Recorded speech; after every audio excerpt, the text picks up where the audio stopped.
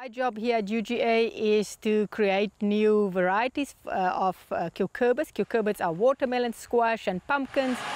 Cecilia McGregor is a professor of horticulture at the University of Georgia. Yeah, so I'm originally from South Africa. I grow, grew up on a sheep farm uh, in South Africa. And um, when I went to high school, I had a very good biology teacher. She says her love of genetics blossomed in her high school biology class. When I had to go to university, I decided, well, that's what I want to study. Because she grew up on a farm, she had a passion for animals and spent the majority of her undergraduate program studying animal genetics. But then, after I graduated from my undergraduate degree, I started becoming more interested in plants, and then I started studying plant genetics.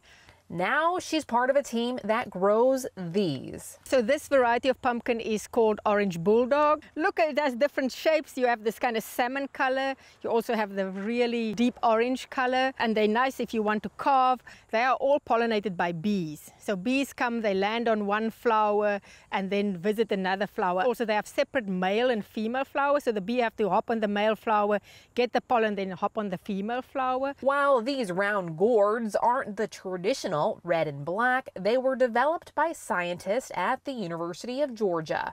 The orange bulldog seed was originally obtained in 1996.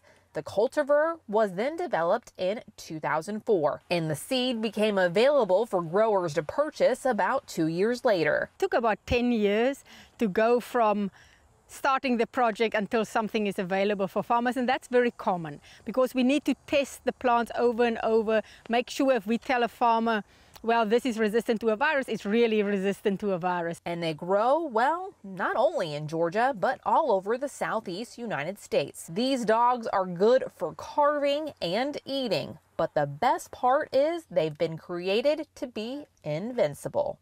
Uh, and they are resistant to some of the diseases and pests we get in Georgia.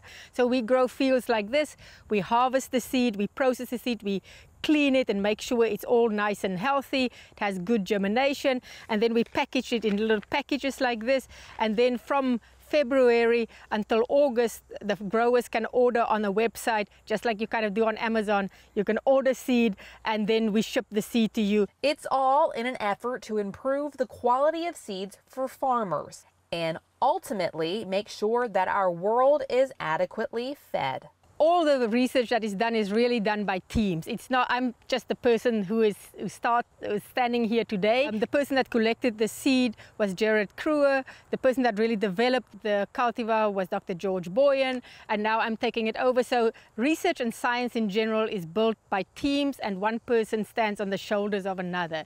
So yeah, I'm, it's really honored to be part of this team uh, at UGA that develop um, this material.